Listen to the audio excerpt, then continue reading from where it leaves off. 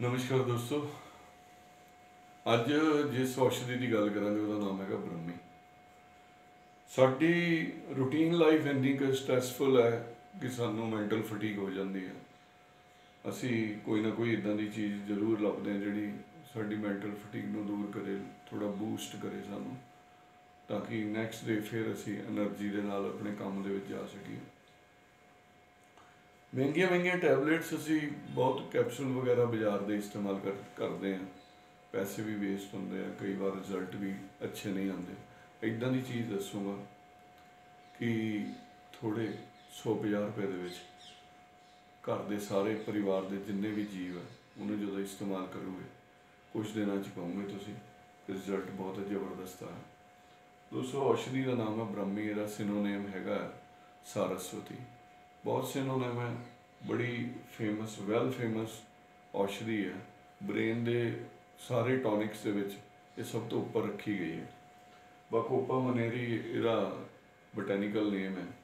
ਉਸ ਉਸੋ ਰਸ ਇਹਦਾ ਤਿਕਤ ਹੈ, ਲਘੂ ਹੈ, ਕਫ ਪਿਤ ਬਾਤ ਹਰ ਹੈ, ਸ਼ੋਥ, ਅਨੀਮੀਆ ਜਰ ਦੀਪਨ ਔਰ ਸਕਿਨ ਦੀਆਂ ਪ੍ਰੋਬਲਮਸ ਦੇ ਵਿੱਚ ਇਹ ਕੰਮ ਕਰਦੀ ਹੈ।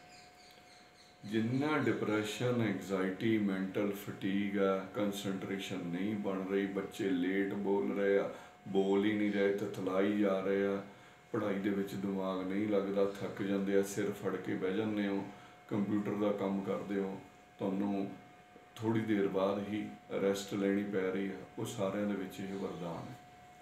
ਉਸ ਯੂਜ਼ ਕਿੱਦਾਂ ਕਰਨਾ? ਪੰਸਾਰੀ ਤੋਂ ਲੈ ਕੇ ਆਓ ਬ੍ਰਹਮੀ। ਉਹਦਾ ਕਾੜਾ ਨਹੀਂ ਬਣਾਉਣਾ ਐਸੈਂਸ਼ੀਅਲ ਆਇਲਸ ਹੁੰਦੇ ਹੀਟ ਦੇ ਕੰਟੈਕਟ ਦੇ ਵਿੱਚ ਆਉਂਦੇ ਬਰਨ ਹੋ ਜਾਂਦੇ। ਪਾਊਡਰ ਕਰ ਲਓ ਪਾਊਡਰ ਕਰਕੇ। ਖਾਲੀ ਪੇਟ, ਸ਼ਹਿਦ ਦਾ ਇੱਕ ਚਮਚ ਮਿਕਸ ਕਰ ਲਓ, ਅੱਧਾ ਚਮਚ ਬ੍ਰਹਮੀ ਦੇ ਚੂਰਨ ਦਾ, ਇੱਕ ਚਮਚ ਸ਼ਹਿਦ ਦਾ, ਦੋ ਡ੍ਰੌਪਸ ਦੇਸੀ ਘੀ ਪਾ ਲਓ। ਮਿਕਸ ਕਰੋ ਖਾਲੀ ਪੇਟ, ਚਟਣਾ ਸ਼ੁਰੂ ਕਰ ਲਓ। ਦੋਸਤੋ 40 ਕੁ ਦਿਨ ਲਗਾਤਾਰ ਕਰਕੇ ਦੇਖੋ। ਤੁਸੀਂ ਸਾਰੀ ਦੁਨੀਆ ਦੇ ਟੌਨਿਕ ਭੁੱਲ ਜਾਓਗੇ, ਜਿੰਨੇ ਬਾਜ਼ਾਰ ਦੇ ਵਿੱਚ ਵੈਲ ਨੋਨ ਜਿੰਨੇ ਵੀ ਵਿਕ ਰਹੇ ਹੈਗੇ। ਤੁਸੀਂ ਕਹੋਗੇ 100 200 ਰੁਪਏ ਦੇ ਵਿੱਚ ਪੂਰੇ ਪਰਿਵਾਰ ਨੇ ਆਪਣੇ ਬ੍ਰੇਨ ਦੀ ਇੱਕ ਜਿਹੜੀ ਐਫੀਸ਼ੀਐਂਸੀ ਉਹਨੂੰ ਇੰਪਰੂਵ ਕਰ ਲਿਆ।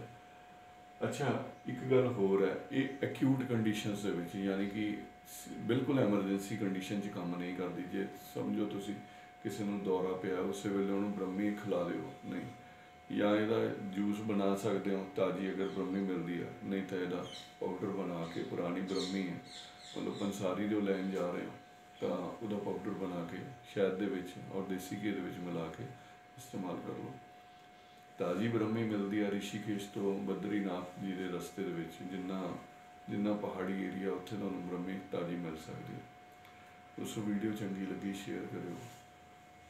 ਚੈਨਲ ਦਾ ਥਰਡ ਆਈਡੀ ਟੀਮ ਦਾ ਬਹੁਤ ਬਹੁਤ ਧੰਨਵਾਦ। ਜੈ ਹਿੰਦ।